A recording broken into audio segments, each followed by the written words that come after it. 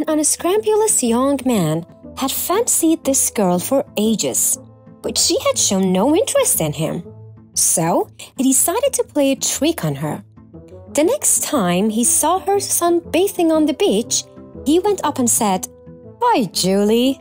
I bet you 10 pounds I can keep an eye on my clothes while I dive into the sea.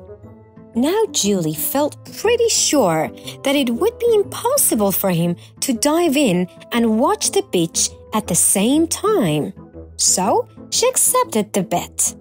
The young man took a false eye out of his pocket, put it on his clothes, and then dived into the water. When he returned, he smiled and said, Come on, Julie, I bet you another 10 pounds I can bite my own ear. Oh no, she said. Not more tricks. I suppose it's plastic teeth this time.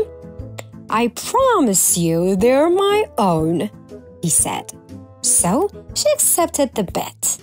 He took out his false teeth and bit his own ear. Now Julie was down 20 pounds and feeling very annoyed. Julie, I'll give you a chance to win all your money back. I bet I can make love to you and you won't feel a thing. Now Julie knew all about sex and she knew that was impossible. So she took the bet. He got down on top of her and away they went. Oh, oh, she said trumpetly. I can feel you. Oh, well, he said, grinning. You win some, you lose some. Larry is 95 and lives in an old folks' home.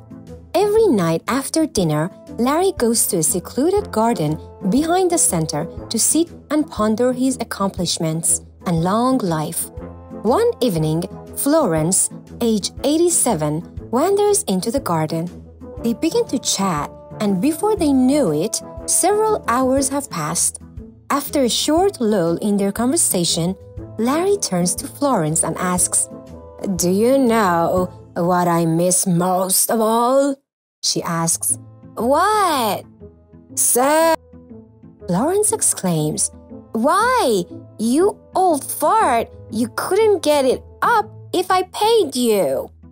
I know, Larry says, but it would be nice if a woman just held it for a while.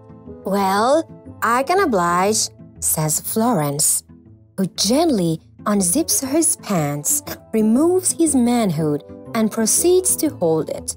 Afterward, they agree to meet secretly each night in the garden where they will sit and talk, and Florence will hold Larry's manhood. Then, one night, Larry didn't show up at their usual meeting place.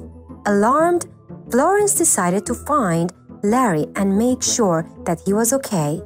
She walked around the gardens and she found him sitting by the pool with another female resident holding his manhood. Furious, Florence yelled, You two timing old creep! What does she have that I don't have? Larry smiled happily and replied, Ah, Parkinson's disease.